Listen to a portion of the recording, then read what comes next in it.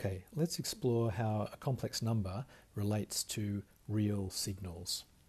And to do this, we're going to consider the circle.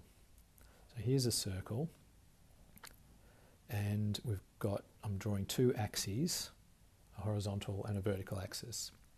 And what we can do is label the, a point on the circle as having a, an amplitude, a distance, a radius. We'll, for this example, let's just call it 1, make it a unit radius, and then there's going to be an angle, and we're going to put the angle relative to the horizontal axis.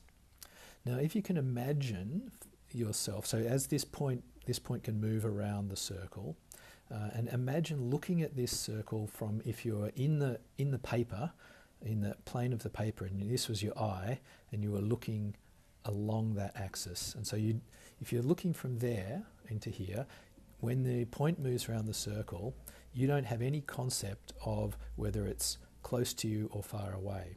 If you're just looking from that side on view, you don't have any depth of field, all you're seeing is this point going up and down.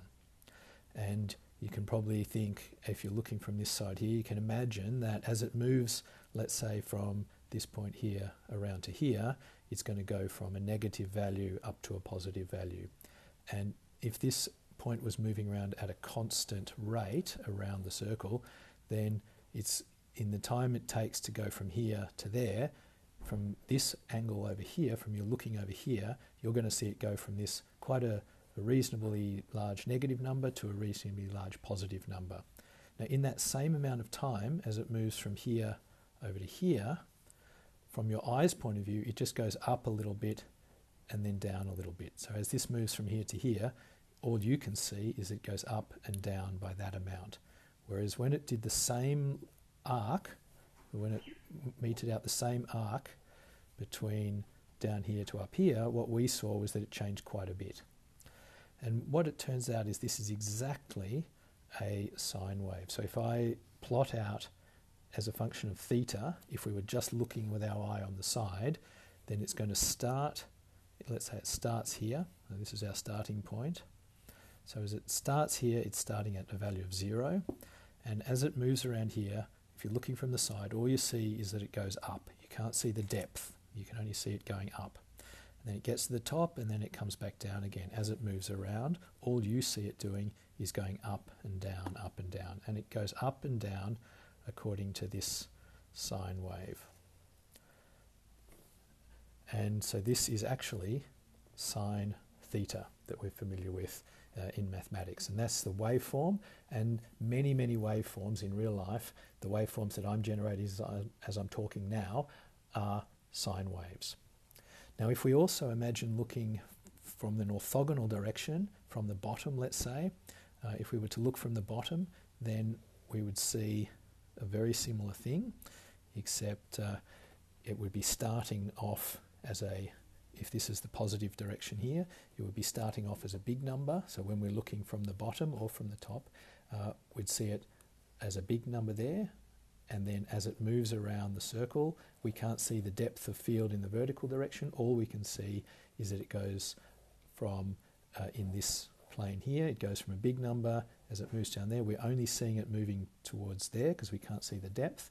And then it will, as it moves around here, we see it moving out to there and then moving back in and so on. So what we're seeing there is this waveform here. And this waveform, if this is the time dimension down here, plotting with time as it moves around, and this waveform here, if I turn it on the side, this waveform here is a waveform that starts at the maximum value and then comes down. It's also a sinusoidal waveform, but it's a sinusoidal waveform that at zero, at time equals zero, or at sorry, theta, I should say, theta equals zero, it's starting at the maximum, starting at one. And that waveform we know to be cos theta.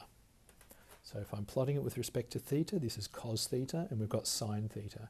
So if we look in two orthogonal directions, as this point moves around a circle, we would see a sine wave from one direction, and from an orthogonal direction, 90 degrees, we'll see a cos wave. Okay, now what's the uh, mathematical expression for complex numbers. So if we just think of complex, so these are real signals. Let's think about complex numbers. If we just think about complex numbers for a minute, the whole notation of complex numbers says that we can write an equation for this point if this is the real. So if we label this to be the real, label this to be the imaginary, then this point here is the amplitude, which in this case is 1, times e to the j, which is the complex number j, e to the j theta. So this point is the point e to the j theta because it's got a magnitude of 1. Okay, so how do we write a relationship between these real signals, which we know about in the real world and we generate with anything that oscillates, the signals in the power supply are sinusoidal signals. Uh, the signals that we generate by vibrating our voice are sinusoidal signals, and, and many of them mix together and so on. Um, but if we just got one sinusoid, how do we relate it to this here? And it's, uh, it's quite simple. This is a complex number, and we can find out the real component, which is the distance along here, and the imaginary component, which is the height up here. So the real component and the imaginary component. Okay, so e to the j theta equals, this is the real component here because this one here where we look from the bottom, that's showing us how far away along this real axis it is. So this is cos theta plus in the imaginary axis, that's this one over here, so there's j because this is in the imaginary axis, sine theta. So this is how the complex number, which can sometimes seem quite arbitrary, uh, especially to engineers and engineering students uh, and people who think about the real world um, and thinking about how that mathematics of complex numbers relates to the real world and the signals that we know about. So to take that a step further, because from the bottom, let's think of an, getting another equation. If we were to move in the other direction, instead of this way round, we moved this way round, then we would have e to the j theta negative theta. So e to the negative j theta. And what would that equal? Well, if we're looking from the bottom, we're still starting here, and we're just because we're coming towards us or going away from this direction, we can't tell the depth of field. So as we move around in the negative direction, we still would see a cos waveform. Starting here and going down here. With this waveform would not change if this dot moves down first. Over here, of course, it would be the opposite because in this way, if this moves down, we're seeing it moving negative instead of positive. So this is minus j sine theta. So here are two equations. Now to, to find out what we, so this is the complex numbers in terms of real things, these real waveforms. So let's get the other way around. So if we add the left-hand side to each other and add the right-hand side to each other, we could have e to the j theta plus e to the sorry e to the minus j theta. So we've added those two, and now we've got to add these two. So we have 2 cos theta, and these ones would cancel because this is plus j sine and this is minus j sine. So they cancel. We'd have 2 cos. So let's put the 2 on the other side and make that a half. And then you've got cos theta. So here's a real waveform that we know about and familiar with in the real world, a cos waveform. And this is how to write it in terms of complex numbers. So those complex numbers are helpful, very helpful, in real world signals. One more step forward to make it even more real is to think what happens if this uh, dot as we move around moves exactly at a constant rate in time. So I've shown it here as a function of theta. So for any value of theta, we can find what the value is over here. But let's let relate it to real time, so actually to time. And so if we were moving at a constant angular rate around here, then theta, we could make replace theta with omega t. So t is time, and omega is the angular rate. So for a big value of omega, uh, it would be moving fast. A small value of omega, it would be moving slow.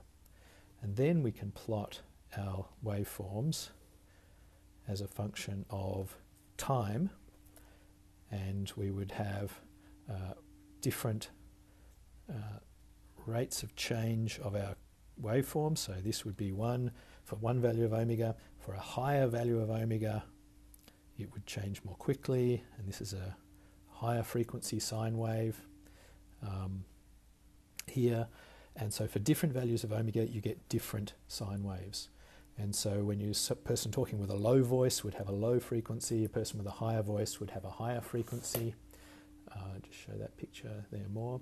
Uh, and so then we have an equation now where we're replacing theta by omega t, and that really is a real signal. It's a, and if you put, for example, 50 hertz or 60 hertz in some countries for the power supply, if it was a power signal, a voltage signal in the power point, uh, then we would have cos of omega, uh, and there's a relationship from omega to the real uh, frequencies, which is related by 2 pi f. Omega is angular frequency, this is uh, real frequencies, so you could have here a waveform to represent the power waveform would be written down as cos of 2 pi times 60, if it's 60 hertz, times t, and that would be the waveform that really is the waveform of the power in the power supply. And now, simply by replacing the theta by the 2 pi ft, in here we have a way of writing it down in complex numbers. And in complex numbers, we can then use all of the machinery and mathematical methods of using complex numbers to solve all sorts of uh, problems and questions about what would happen to that power supply if we put it through a circuit or through a capacitor or through an inductor uh, and solve all the sorts of uh, questions you would like to know about for real electric circuits with uh, sinusoidal inputs.